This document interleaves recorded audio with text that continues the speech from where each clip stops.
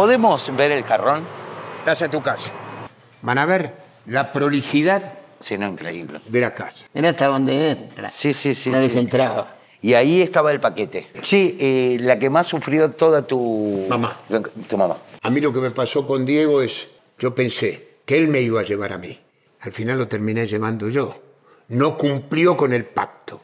Ahí me enojé mucho y se lo hice saber el día que llevaba la manija en su cajón.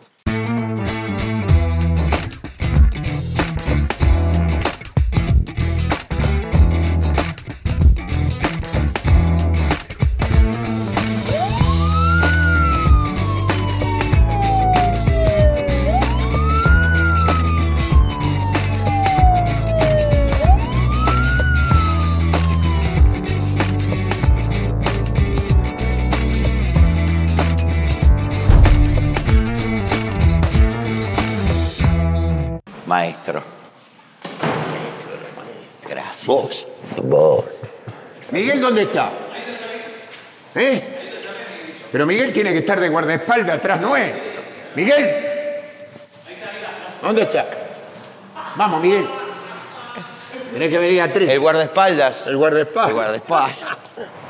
La vida te presenta altos y bajos, buenas y malas. Estamos pasando un buen momento, Ahora sí. Pero hubo uno malo, duro, ¿El peor? sí. Al margen de las pérdidas, ¿no es cierto? Sí. Normales de la vida. Normales de la vida. Pero yo vine a un, no recuerdo si era un picnic, un encuentro de estudiantes, ya con unos años. ¿Vos qué edad tenés? Yo Ahora. tengo 75. ¿Y esto fue a qué edad? Soy Peter Pan. Sí, la verdad que Me sí. cuidé toda la vida para estar así como... Estás perfecto. ¿Viste? Y si alguno piensa lo contrario, y que no piense. Se equivoca. La fantasía Vamos uno la puede trasladar donde quiera. Bien. Bueno, entonces vine ese, ese ¿Qué encuentro. edad tenías? Tendría ¿16, unos- 17? no, tenía unos 20 años. 20 años. Bien. ¿De qué laburabas en ese momento? Laburaba en el banco. Bien. Recién empezabas. En el banco empecé a los 15, A los 15. Bien. hace 5 años. Bien. Entonces viniste a un... eh, A un encuentro de estudiantes grandes. Grandes. Egresados. 21 de septiembre. Bien. Dijimos, en vez de hacer el encuentro en el restaurante tal, lo hacemos en el Rosedal como cuando éramos chicos. Bien. Y ahí vinimos. Bien. Pero ya más organizados. Venían en auto, heladeras, Bien. mesa. Bien. Hicimos.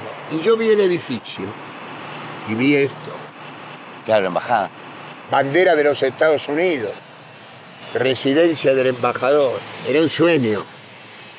Que después lo cumplí. Se hizo realidad. Se hizo realidad. Y en, este, y en este lugar fue lo del jarrón. Claro.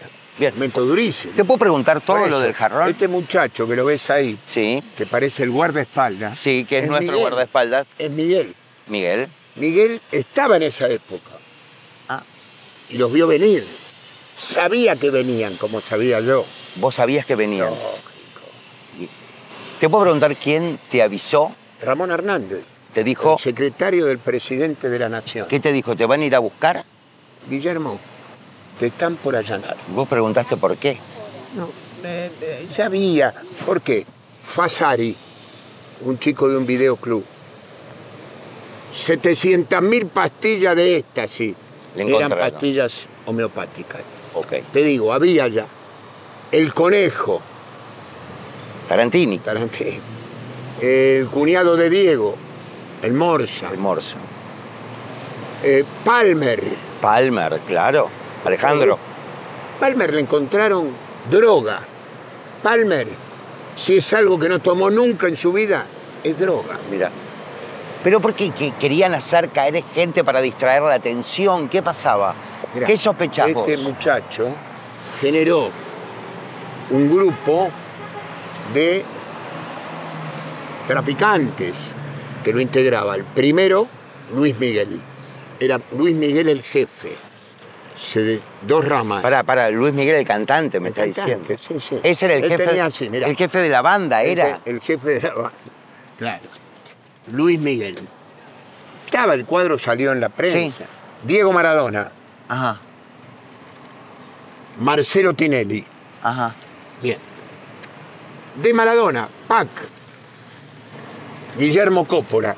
Quiere decir que yo era primero, segundo, tercero en orden de importancia en esta asociación ilícita del tráfico de drogas. En el momento en el que entran Diamante y Gerace a tu casa, Sí. ¿vos con quién estabas? Estaba en casa de mamá, En casa de tu mamá. con el doctor Cae, Ajá. con Diego, porque yo había dejado la llave a la señora Mari, que era quien trabajaba en casa, Ok, vos estabas, ahora sí entiendo, vos estabas con Diego y con Cae en la casa de tu mamá. comiendo pis y empanadas. Bien, acá habías dejado la llave. La llave Lle- para que no me rompan nada. Ok, La instrucción era, por favor, pidan que no rompan nada. bien.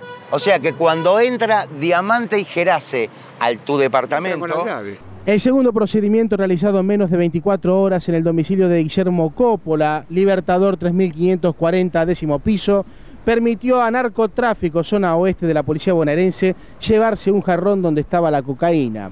En la caja fuerte del baño no se encontró nada. ¿Había alguien adentro del departamento? No. Nadie. Subió la señora Mari. Subió- Miguel atento. Ok, Sube con ellos para que no rompan. ok. Bien. ¿Qué hacen? Suben a un testigo. Y el juez creo que estaba también. Después vino el juez. Mira, mira Como una buena memoria. Gracias, Miguel. Gracias, está saliendo. ¿Querés, aportar?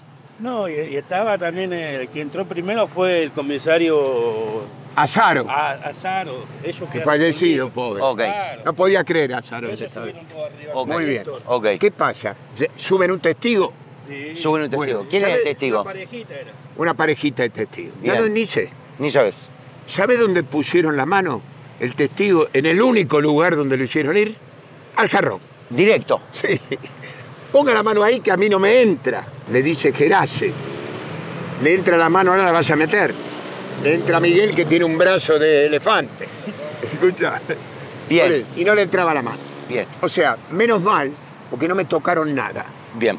No tocaron, no revisaron nada, a ver si está claro. O- ok, fueron directo al jarrón. es Directo decir, al no abrieron cajones, no levantaron el colchón. Nada. Nada. Nada. Una farsa. Que después, Sí. Gendarmería, con el tiempo, hace el análisis y eran 400 y pico de gramos lo que habían encontrado. El gran traficante internacional tenía 400 Medio kilo. gramos. Medio- Diego dijo, y me animo porque lo dijo él, Ok. imposible que hubiera nada, porque si sabía que eso estaba ahí, me lo hubiese tomado. 400 gramos en la casa, pero ¿a quién le pueden venir a contar, Jorge? Por el amor de Dios, yo tuve dos días antes. Y sabíamos que estaba eso ahí, por ahí Guillermo estaba libre. Ese es un chiste muy malo, ¿no? humor negro. pues. A ver si está claro. Bien. Y don Diego, cuando la nata al día siguiente le hace una nota, don Diego dice no, y un pedacito era mío. Era lo que grande que era don Diego. Porque de acuerdo a la cantidad, vos no tenías Ok. Si era menos, podía salir antes, si era más. Entonces él dijo, un pedazo es mío como para que absolverte a vos. total. Un fenómeno, Pero vos te- Pero Diego. vos te das cuenta. Pero la nata ya sospechaba a las 24 horas De que era una cama. de que era una cama. Era muy burdo. Era. Entonces, salen con el jarrón. Sí. No sé si fue a Saro. Encontraron cocaína en la casa de Coppola. Bien. 400 gramos, se ve que lo pesaron, 400 y pico de gramos. Eh, Nos seguíamos riendo. Placa. Coppola prófugo. Porque buscan detenerlo. Entonces agarré y dije, bueno, estaba CAE también. Cae. ¿Te lo había nombrado? Sí, lo nombraste. Ah, perfecto. Entonces eh, Alfredo dijo, no, Guillermo, vamos, te hago una revisación Bien. en mi consultorio. Y mañana te entregás. Perfecto. Bueno, perfecto, hago lo que vos me digas. Cae médico forense. Me hizo un certificado de que estaba en plenas condiciones, todo sano, sin Perfecto. ¿Qué marca. edad tenías en ese momento? Y 46 años. Ah, ok. Entonces, había que organizar, vinieron mis abogados. Bien. Bueno, Guillermo, este comisario va al consultorio del doctor Caje y me dice, Guille, no te entregues con ese juez, vas preso. Voy preso. A Guillermo le hacen una Y yo que no. No, dije, ¿cómo voy a ir preso? Estaba toda la prensa acá en la puerta. ¿Cómo sabía que iban a encontrar? Bueno, cuando sale Diego del departamento en caballito, Esa noche estaba toda la Estaba toda la prensa. ¿Y cómo se enteraron? O sea, llegó la prensa antes que la policía. Total. Camas. Camas. Se pueden hacer camas. Se pueden hacer. A Diego, a Coppola. Bien. Esquina. Esquina. Sí, Néstor Ibarra. sí, Auto. sí. Canal América. Me entrego con él. Y un eh, comunicado. De- Debe haber un error, creo en la justicia. ¿Tenés miedo que te maten? No, no, no, ¿No? no. yo creo en la justicia, ¿eh? Vuelvo a repetir que creo que. ¿Tenés miedo que te No, no tengo miedo que me maten. Ahí me vienen a buscar, Sí. viene el comisario, les voy a dejar unos, unos comunicados, por favor, para que repartan, por favor. Sí. ¿De ahí a dónde vas? No, estaba ya la camioneta con Azaro Ok, para con llevarme. el porque comisario. Yo le dije, me voy a entregar en. Seguí y esta como se La esquina. Acá en la esquina. Me voy a entregar en esta ahí. Bien, ¿y ¿dónde exactamente? Acá. Esto no estaba, porque esto es nuevo. Ok, ¿qué había acá? No, calle. Calle. Era más ancha la calle. Y acá llegué con el autito, camioneta de la policía, Sí, con Azaro. sí. ¿Qué Azaro? Me conocía. Y estaba sorprendido. Me dice, Guillermo, Estoy sorprendido. estoy sorprendido. ¿Y dónde vamos? Me dice, a Castelli. Fuimos a una comisaría en Castelli. Yo digo, me entrego, voy a la comisaría, mañana declaro, Pasado estoy en la calle.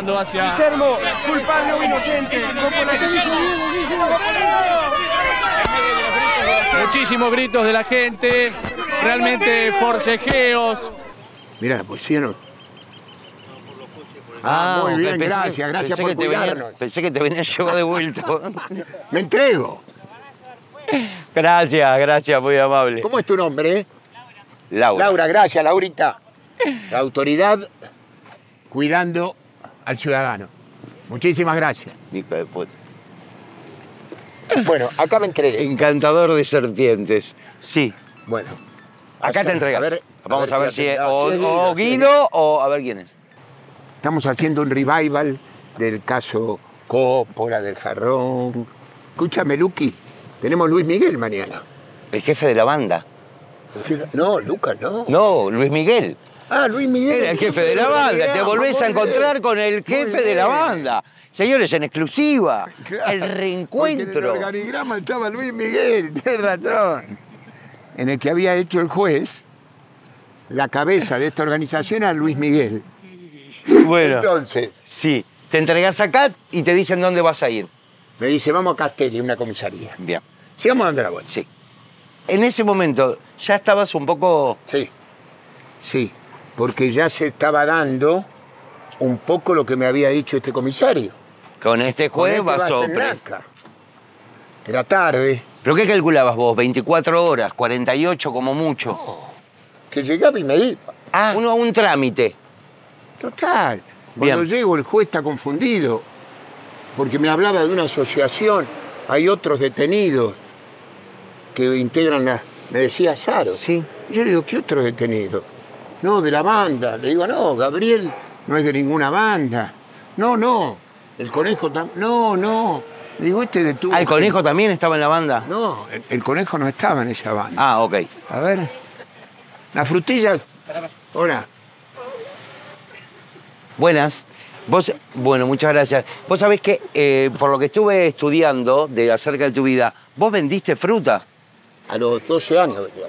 Sí. Sí, sí. Cuando era cadete de farmacia, Aparte- fines de semana, la señora nos, nos graba también. Nos graba también. Escúchame, sos como el padrino que pasaba por los lugares, agarraba las cosas, no pagaba, seguía y todo el mundo le agradecía Sí, que le vamos a- agarraran la fruta. Vamos a seguir. No es terrible. Bueno, Bueno. escúchame, me estabas contando. Vas a la comisaría, pensás que vas a salir al toque, no salís al toque. ¿De ahí a dónde vas? No, esperá. Noche en la comisaría. Suponete, yo me habré entregado 8 de la noche del programa. Me levanto muy temprano. La celda defecada. Había, ya estaba sucia. Pero pará, ¿vos estabas con alguien en esa celda? Solo. Una cosita. Y la celda era esto, mirá. Era esto hasta ahí, con un camastrito. Y ahí dos. Ahí, como si fuera este cuadrado. No, así hasta acá. Hasta acá. Esto. ¿Dormiste esa noche? No. Pero primero que pido un baño. Bien. Le pido a uno de los, de los muchachos que estaban ahí, le pido un, un bonja. Me empiezo a bañar, feliz de bañarme. Fu, fu, el jabón que me habían prestado. Me enjabono. Viene Gerace. Me rompe la- la- el, el caño. Vos en pelotas. Pero me rompe el caño. O sea, que me sacó eso que me daba el, el caño venía a la ducha. Me tuve que enjuagar así contra la pared, tirándome el agua, haciendo con la mano, muy mal, maltrato. Entiendo. Maltrato. Y de ahí me llevan al juzgado. En el juzgado aparece el juez. Saluda a mis abogados. Me dice algo para decirme. Sí, está equivocado, doctor. Se equivocó con otro Coppola. ¿Eso es lo que tiene para decir? No, no, no me sirve. Doctores, ¿va a declarar? ¿No va a declarar? Ah, en el auto, en el trayecto, estos señores, policías, se dan vuelta y dicen, nosotros tomamos la buena, no la basura que tomamos. Claro, ellos habían puesto la basura. Yo no entendí. ¿Lo entendiste o no lo Y entendiste? no lo entendí porque no sabía lo que habían puesto. Claro. ¿Entendés? Claro, claro, claro, claro. Entonces nosotros tomamos la buena, no la basura que vos tomás. ¿Y vos Se ahí? te acabó la farra, se te acabó la fiesta. ¿Y vos ahí? No, ¿Estabas, no, ni hablar. ¿Estabas así fruncido? Sí, Estaba fruncido. Sí, en un taxi, en un taxi, en un auto con estos dos. Claro, animales, claro. ¿entendés? Ni hablar. Una basura.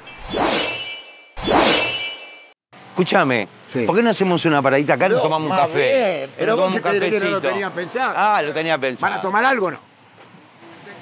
Buen día. Es imposible, boludo. Hola, bombón. Mirá que no me olvido tu tema. Imposible. Primera sensación cuando entras a la cárcel. No, un desastre, un desastre. Yo dije, ¿dónde estoy? Jamás pensé esto y ahí pensé seriamente en quitarme la vida. Me dice, Coppola, lo tenemos que revisar. Me meto en una oficina, había cuatro personas, dos mujeres y dos hombres. Me dice, sáquese la ropa. Yo me saco, tenía remera, me saco el pantalón, me saco las zapatillas y me quedo en slip. Entonces me dice, sáquese el slip. Me revisaron, pin. Ya, a ver cómo viene. Viene bien. Afortunadamente estaba, estaba intacto. Pará, hasta ese momento. Estaba estaba- intacto, hasta ese momento. estaba intacto. Ah, muy bien.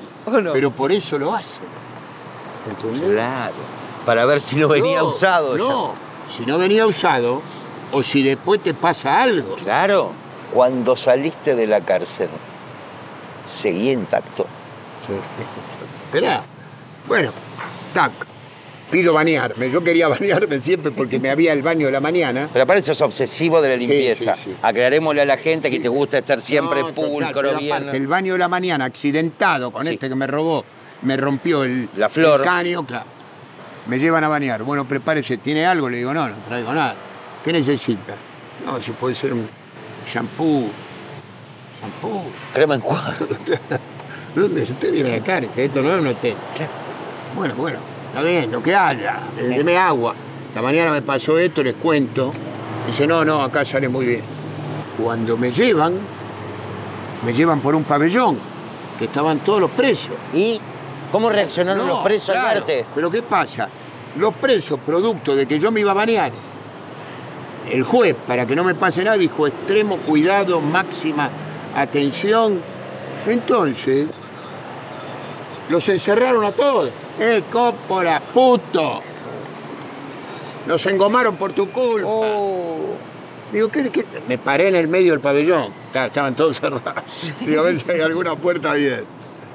Cópora, pedazo de trolo. Mirá, arriba. A ver si tenías esto en la cárcel.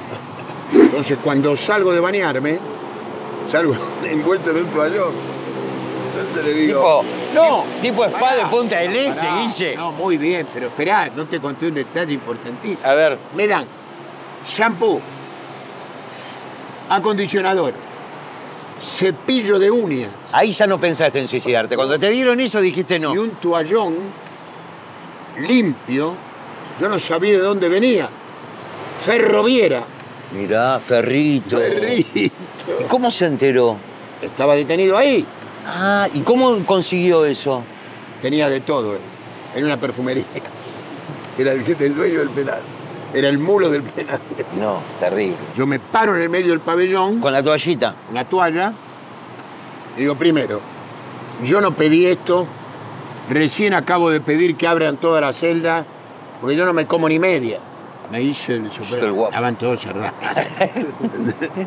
no se crean que yo vengo acá a, a- a hacerlos encerrar y toda esta boludez que me gritaron. Me lo van a gritar de frente cuando estemos mano a mano. Porque me habían dicho, en la cárcel no arrugues nunca. Pero caltaste falta en video con Sí, 23. pero la primer piña tirate, así no te pegan más. Ok. No te plantes. Plantate de pico. Yo de pico soy el mejor peleador de la tierra. De mano soy el peor. Me dan un bife y me arruina. Bien. Bueno, Conoces tus limitaciones. ¿Tenías miedo que te violen? y tenía miedo de cualquier cosa. Tenía miedo que me peleen, que me... No sabía. Me duermo. Me duermo. Creo que me duermo. Y siento que hay una invasión de algo mientras dormía que me, me iban a atacar, me iban a. se venían sobre mi rostro. Y hago así con la mano.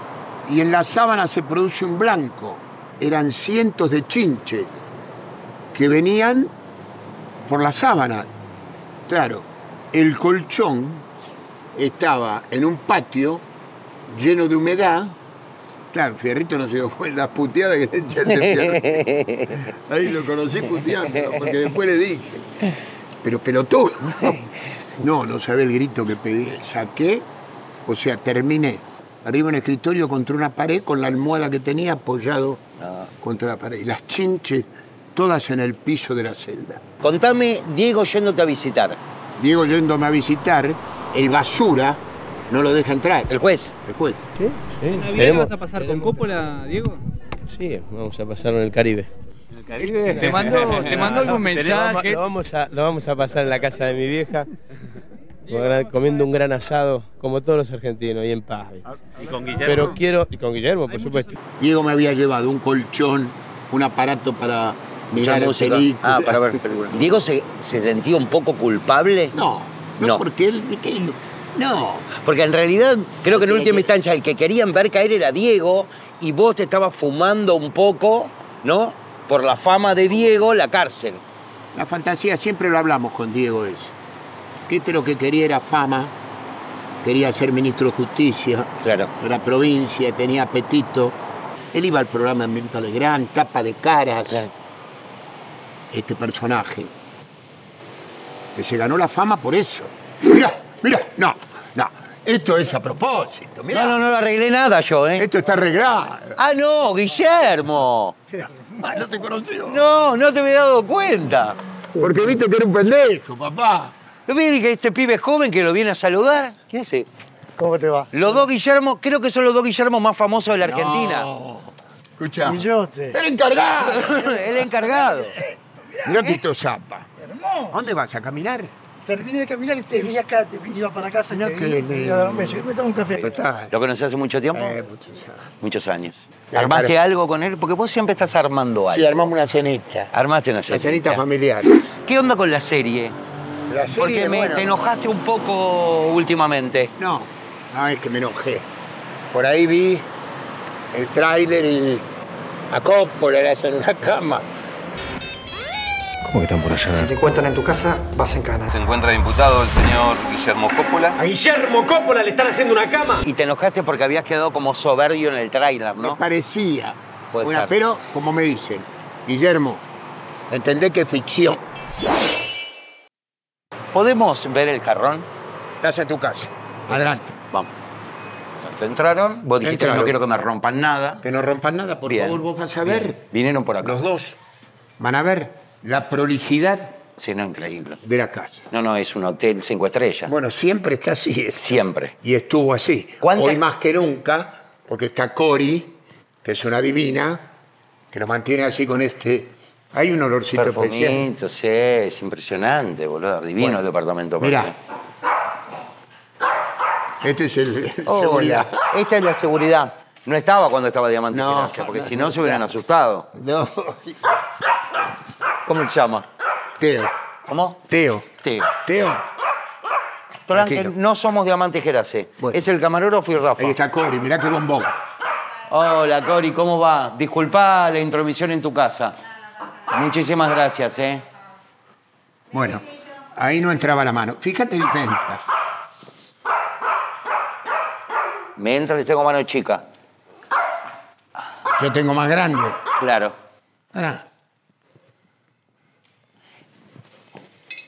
Ahí está.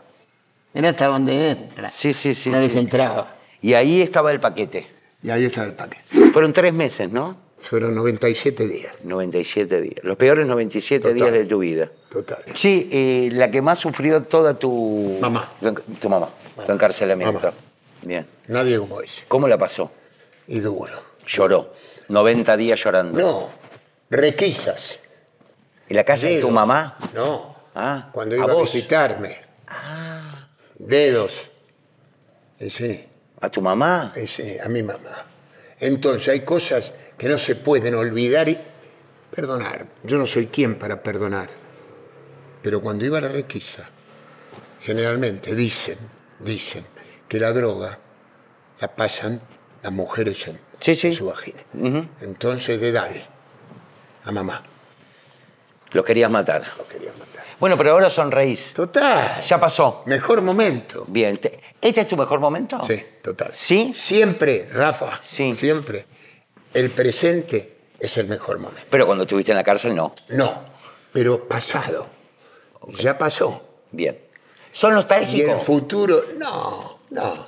Soy realista. Bien. ¿Y el Soy- futuro? ¿Me decía? El futuro, está, mañana vemos, vemos tu programa, vemos la serie. Con ustedes, Guillermo Coppola. Arrancamos con un pomerí rosado y de ahí nos vamos al cielo. ¿Lo que haces lo haces para que te quieran? No, lo hago naturalmente. Mi vieja era así. ¿Y tu papá? No, más duro. Más duro. Más como mi hermano. ¿La muerte de tu hermano te afectó tanto como la muerte de Diego? Mi hermano venía enfermo, eh, tuvo un Guillén Barré, Ah, se recuperó y después lo volvió a tener y, y ya sufría. Entonces, viste, cuando vos ves sufrir tanto a alguien, lo acompañé hasta el último momento, a mamá, a papá y a mi hermano. A mí lo que me pasó con Diego es saber que nunca yo pensé que él me iba a llevar a mí. Y así habíamos quedado. ah sí. ¿Entendés? Cuando hablábamos, Diego, que no sea un- una jornada triste, acompañá a mis hijas, vos me vas a llevar, eh, que no sea una, una jornada triste, que sea una jornada de un tipo que vos sabés que vivió la vida como nadie, él lo sabía cómo la vivía, Creo que el que más. por eso. Al final lo terminé llevando yo. No cumplió con el pacto. Ahí me enojé mucho y se lo hice saber el día que llevaba la manija en su cajón. Yo te agradezco un montón. ¿Sí? Y te agradezco que me hayas dejado entrar a tu casa, loco, que me hayas mostrado el jarrón. Siempre fuiste muy generoso. ¡Arriba! Gracias. Nos estamos bien. Nos estamos viendo. Vale, me voy a laburar. Un fenómeno. Chao. Vaya, Guille, gracias. Mirá, mejor sacabollo del país. Tengo una rayita. Empieza. Una fisurita, si no digas rayita. ¿Lo llevo los autos o no? ¡Aníbal! Mira, Aníbal, mejor farmacéutico del país. Perdón, compra mucha cremita. No, compra mucha cremita. No. No, eso traigo de afuera. Cuando viajo. ¿Y acá qué compra? Viagra. eh, Cialis. Cialis de, de 20 y de 5 diarios. Uno de 5 diarios. ¿De Viagrín? No, Cialis de 5.